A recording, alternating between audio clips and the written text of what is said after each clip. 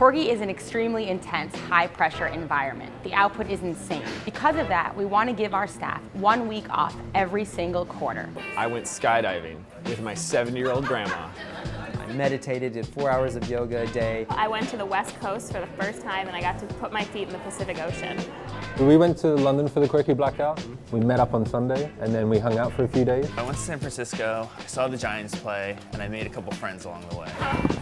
I adopted a miniature Australian Shepherd. We Went to Connecticut to visit the in-laws. Go hiking, go swimming. Friends from high school who I haven't seen forever. I went on a road trip in West England. My parents were here over a blackout. They came to visit New York City, never been before. Nathaniel and I took a little road trip, stayed at this little cabin by the lake. I really did nothing.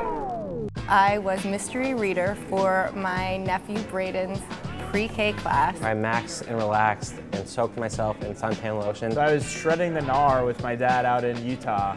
Kate, Julia, and I went to Austin, Texas. And I went out and bought a travel guidebook and highlighted every part of Austin, just, Texas that we Just should like go my to. mom does. It was so exciting to see all the staff walk in, tanned, relaxed, refreshed, and ready to kick ass and dominate new products in Q2.